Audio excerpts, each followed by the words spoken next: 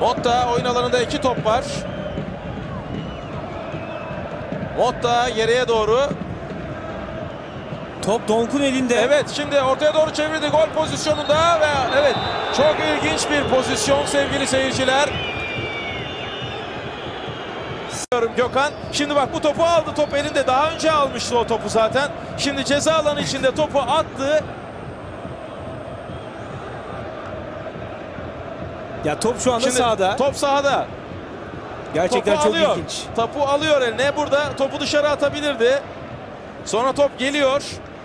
Olcay'da, Almeida ceza alanı içinde.